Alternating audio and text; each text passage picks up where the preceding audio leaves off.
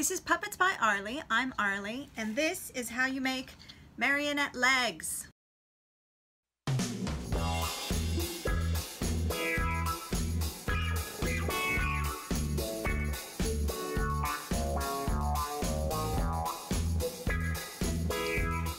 If you like my videos, please like and subscribe.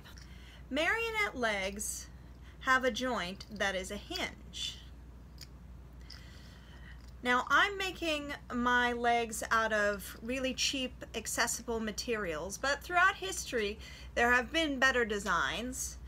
Uh, I don't necessarily have access to some of the materials that are traditionally used to build uh, marionette legs like knee joints.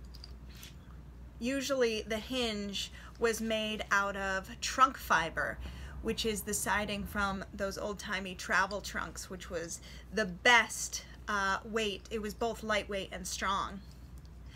Uh, a lot of professional marionettists use uh, a plate of steel, but I use a technique that uses uh, an eye loop and a wire in between. You're going to refer back to your original pattern.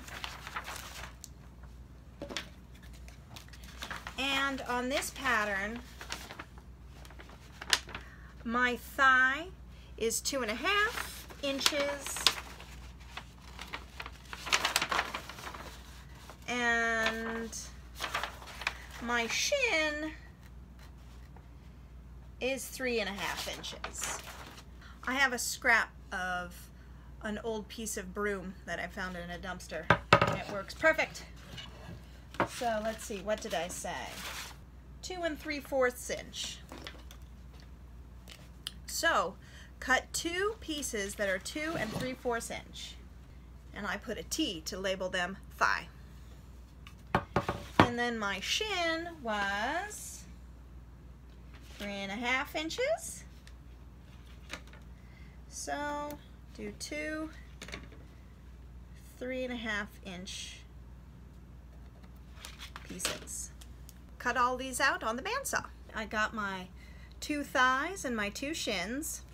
Next, on the shin, we need to drill a hole that's about a fourth of an inch down from the knee. Take your shin and right in the middle of the shin, measure and mark for a hole that's a fourth of an inch down.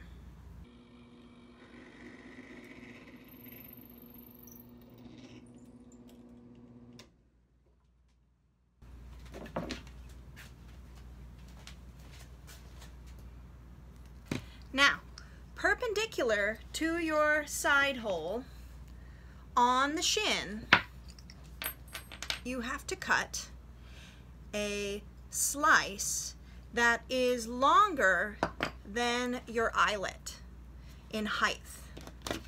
Now my eyelet is about 3 fourths of an inch tall, which means that my slice has to be a little bit longer than 3 fourths of an inch so that it has enough room to move. Since my eyelets are 3 fourths of an inch tall, I've drawn a line perpendicular to the holes that is about an inch long. Now it's also important to get this slit so that it is just a little bit wider than the thickness of your eyelet. My eyelet is about a fourth of an inch thick. I'll put a little bit more than a fourth of an inch on either side. And I've drawn two lines outside of my original lines so that this slit will be just a little bit more than a fourth of an inch across. Alright, so I've used the bandsaw to make two slits and then to finish this off I'm going to drill a hole at the top so that it makes uh, one big slit.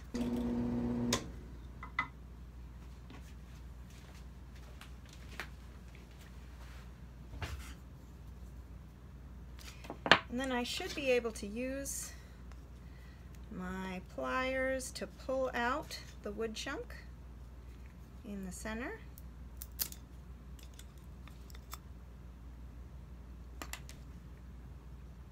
And there we have it, a slit with a hole in the side.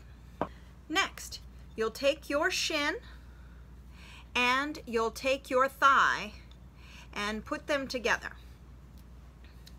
So we got the shin, front of the shin, and the side. And you're going to cut a right angle triangle out of the back that's that is just above the hole and also shares half with the knee. So lay your ruler on top of it and draw the right angle triangle. And cut that out. So we have our knee joint. You're going to install the eyelet in the bottom of the thigh and it will sit straight forward and back to how the knee is oriented. So take your thigh with the knee slit or with the knee taper in the back and you're going to drill a hole in right at the edge of the knee taper in the center. And the eyelet will go in fo forward and back from the knee. Drill two holes at the bottom of your thigh.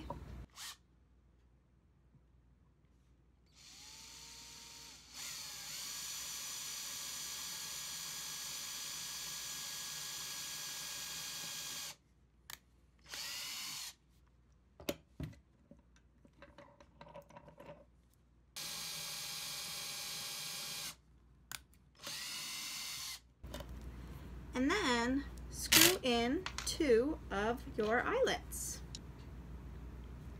Get some wood glue on each eyelet.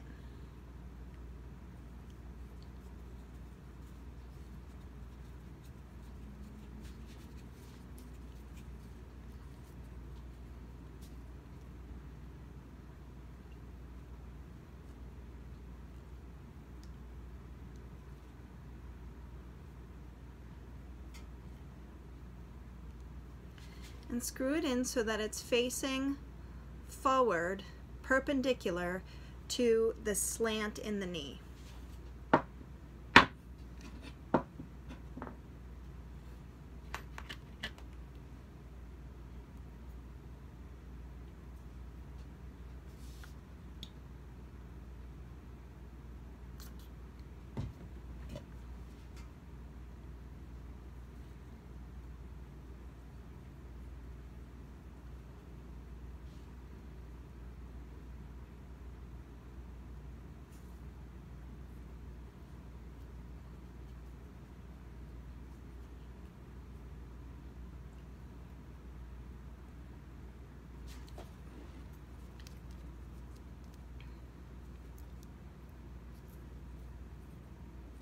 On the lower part of the thigh, cut a tapering shape to make it smaller for the ankle.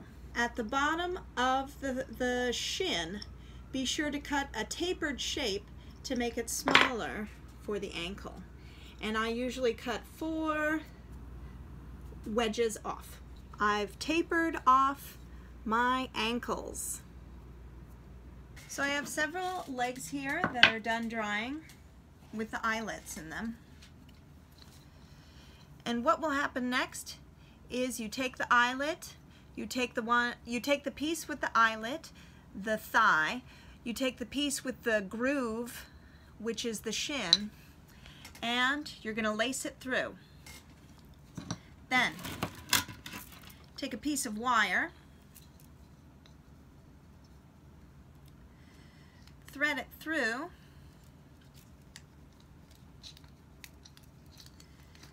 And then, as you can see, we have a hinge effect happening.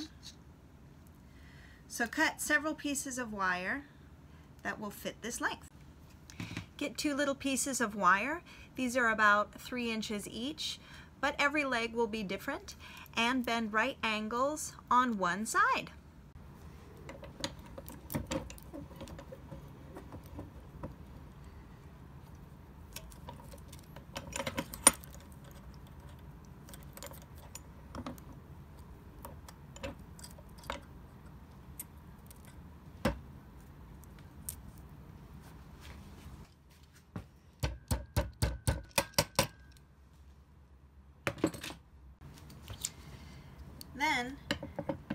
Take your shin and your thigh piece and thread your right angle wire through both pieces through the eyelet. And then bend the edge of the eyelet over. And it works better if you get it started with some pliers first